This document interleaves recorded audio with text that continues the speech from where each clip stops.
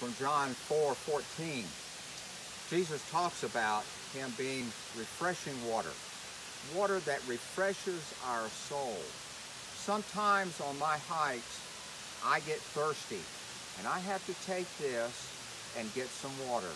And then a little bit later, I have to take some more because this water only lasts a short period of time. But the refreshing water that Jesus gives to us, a refreshment that nourishes our soul with his peace, with his encouragement, is always there. And we can always tap into that. Just like this lake right here has so much water always available to us. And the water that Jesus gives to us is always available, no matter what we're going through. Stay well, stay safe.